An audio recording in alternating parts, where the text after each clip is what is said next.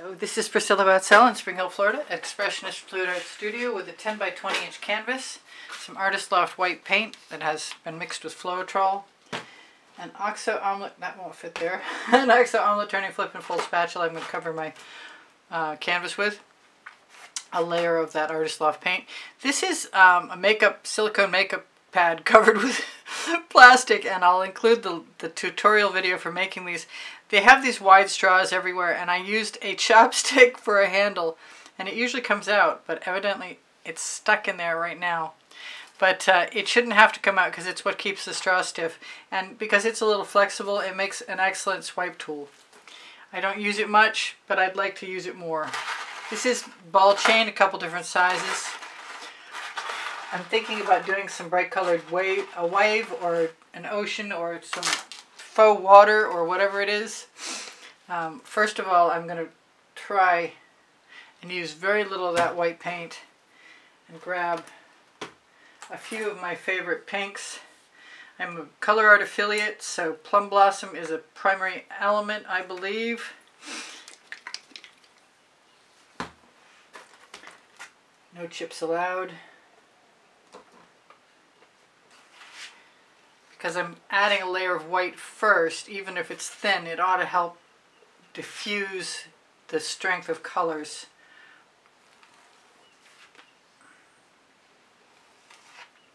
And I might have gone a little light on the paint. So maybe just a little tiny, maybe a hair more.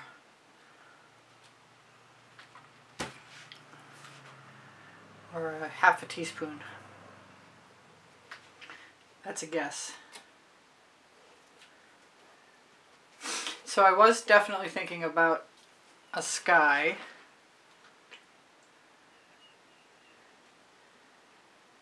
And I love this plum blossom color and I haven't used a lot of it lately.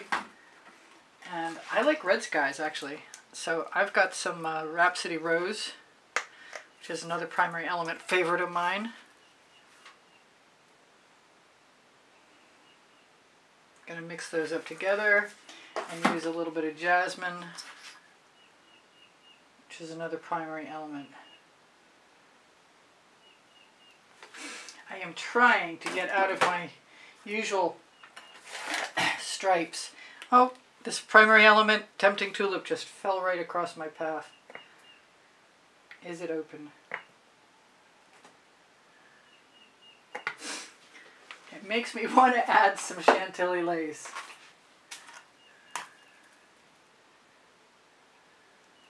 Which is very sparkly, unlike anything else.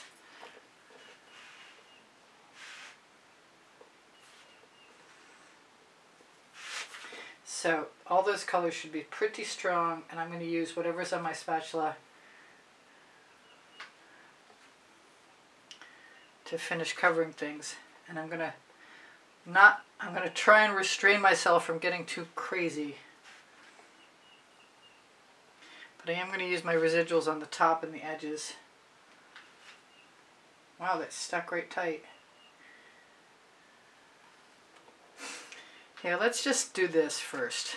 I've never done this completely and I'd like to once. Spread all the paint down, spread it across.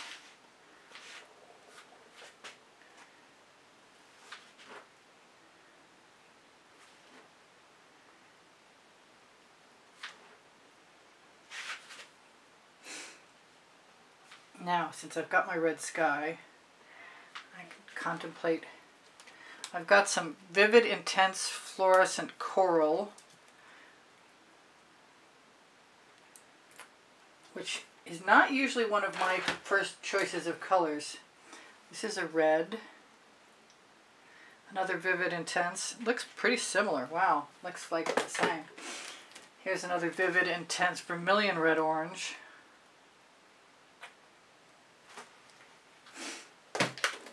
Looks like it was a lot. And let's use some more of that Chantilly lace.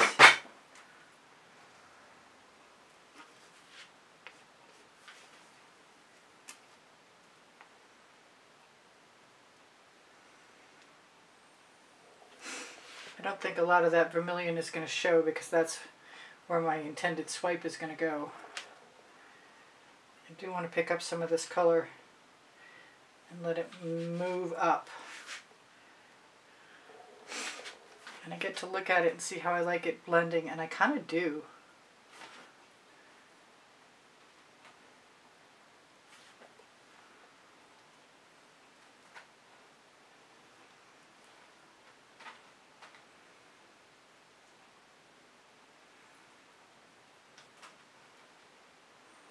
It's not being very cooperative about covering its top edge.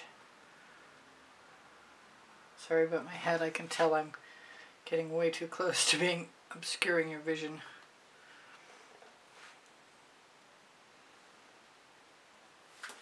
So I found recently that I kind of like to change up the patterns in the sky just by moving my spatula around.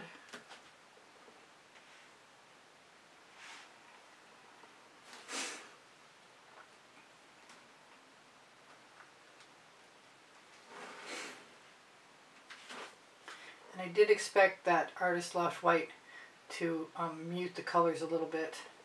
And it did a pretty good job of it too. I'm going to try some of the, since I'm here, some of the Chantilly lace right on my spatula. And I don't mind that there's some other colors on there.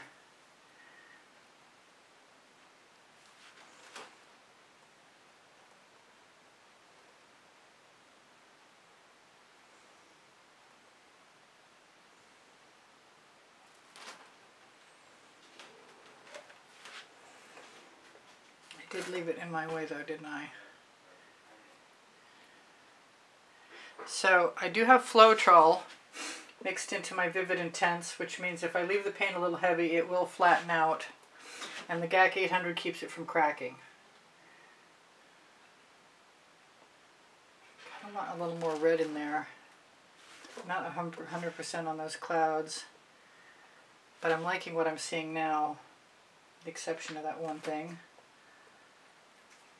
So I'm just going to drag whatever I've got to the edge.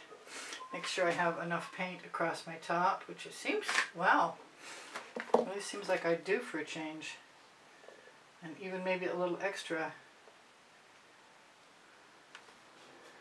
Let's make sure that goes right down the side.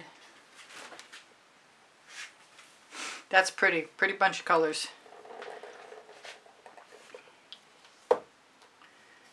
There's a color in there that doesn't belong. Wow. I'm going to use anything and everything. I'm going to start with a little more white again. Whether I should or not is up for discussion. But if it wets the canvas, my last painting I did a landscape and I had pre-primed the canvas. This one is not pre-primed.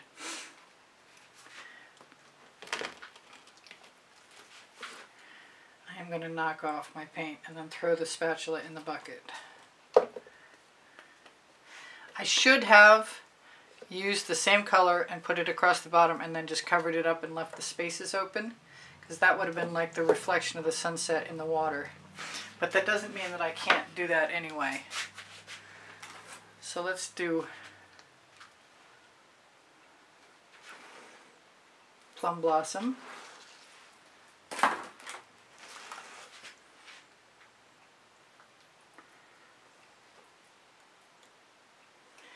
Jasmine, two primary elements, a little bit of indigo violet,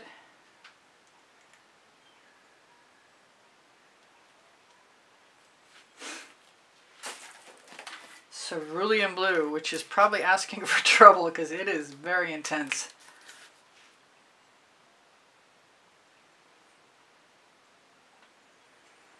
I don't even have a strong idea what I'm going to be doing tell you the truth.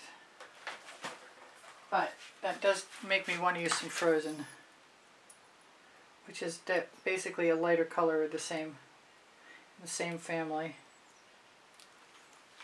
And I got to remember that the white is going to work to mute things a little bit, but I'm going to still put some Chantilly lace in.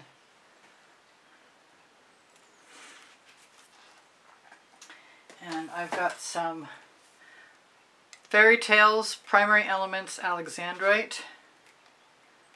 And then I think I'm going to bring in some some lighter greens. Yellow green, vivid intense. Take the little tab off.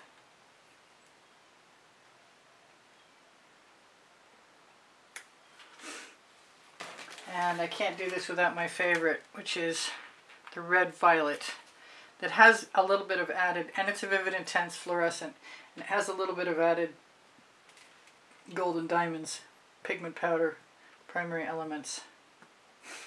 So no matter where I go from here, I want to start by trying out some of my chain.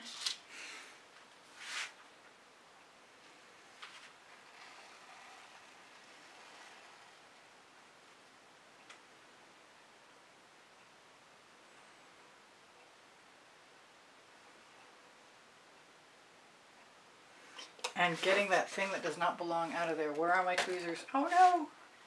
I have disposed of my tweezers and I have two sets too. Oh well.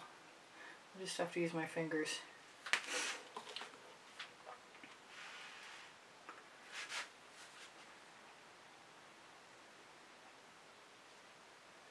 So I've got enough over. I just figured it out before I did the painting that chain stripes, I just drag my fingernail through the sky. Hopefully it won't be a problem. Chain imitate. Twice I did it. Shoot. Okay, where's my spatula? New spatula, please. Grab some of that paint from up there.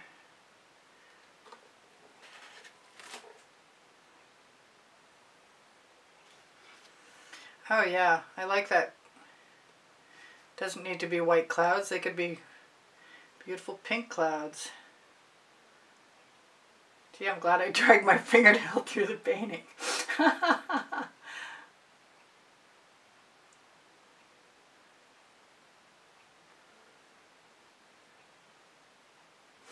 maybe don't even need to make a wave.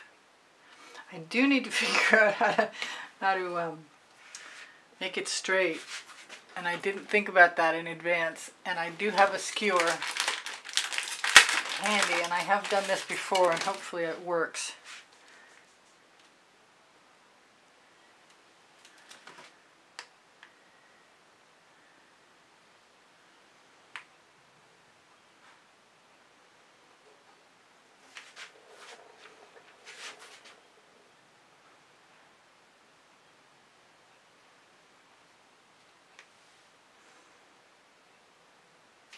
I'm just going to go for it.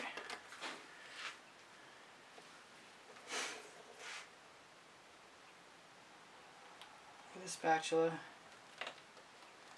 I still want a wave. And I'm not sure about the cell activator necessity anymore. But I can definitely steal some paint from below and I don't think it's gonna, I don't think no, anybody will know unless you tell them. But by the same token, I do have a lack of paint at the bottom.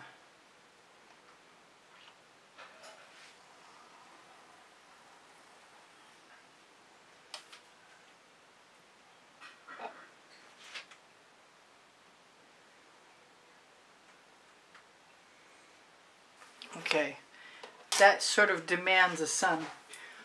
I had something over there I didn't think it was appropriate. And over here, I'll just put some blue bottom clouds in because that's what's on the spatula.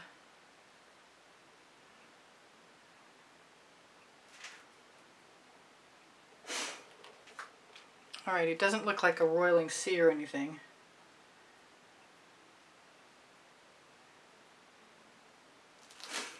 Kind of want to put something right across the bottom so it so it blends, but what would it be? I'm just going to use what's handy. That's a deep amethyst right now. And put a little bit more of this Alexandrite primary element, uh, primary elements fairy tales collection. So that way I can run my finger down and potentially get a mix of both of them.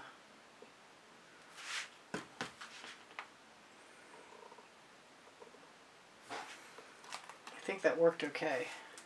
As you can see, I have the perfect amount of drips.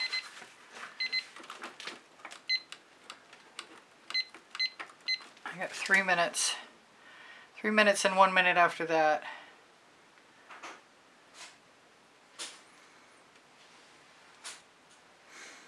My edges and ends are pretty well covered. Got enough pink if I need some.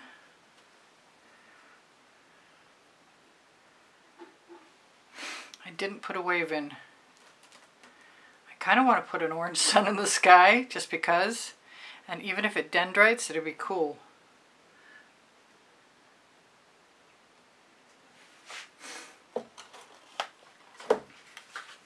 So what have I got? I've got Pyrrole Orange.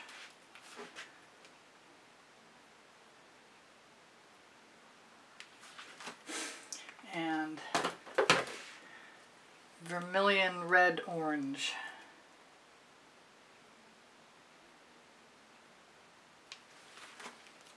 Give that a bit of a blow.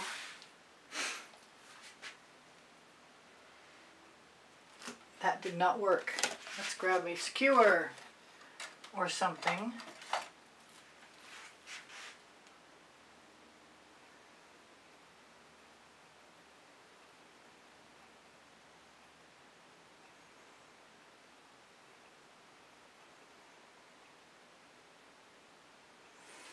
I think I want it to be lighter orange. I could put some yellow in there. I have a Hansa yellow that has a little pyrrole orange in it.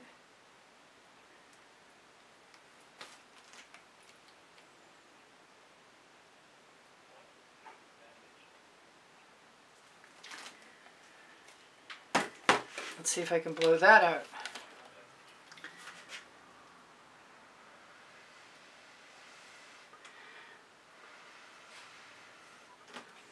That's better and kind of cool actually. So, such as it is, I didn't put a wave in like I thought I was going to, but um, it's a gentle picture. No big deal. It's time for dinner anyway, so if I wanted to do something else, it would be tomorrow. I've got plenty of paint on my spatula that I can use on my edges. I need to tell you guys I love you. I don't know if it's worth shimmering or not.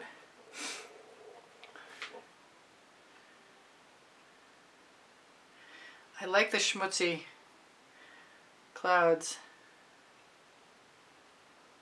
I was going to be like, well, I hope I do.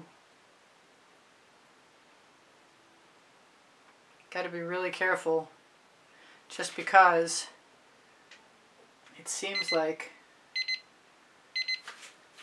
the paint is sticky enough. So my paint pouring recipes below show more. If you like what I do, appreciate I appreciate the thumbs up.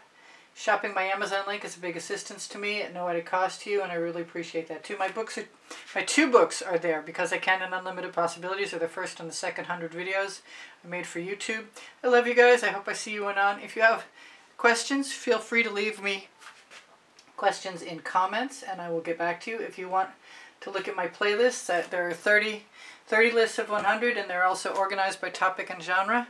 And if I have my phone handy, I'm going to try and shimmer that at you, even though there's probably less shimmer than usual.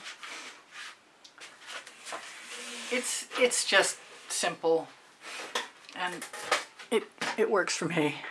And it's a little crooked. So I love you guys, and I hope you take care of each other, take care of yourselves. If you want to become a member, it's $9.99 a month, and uh, you get access to over 110 videos.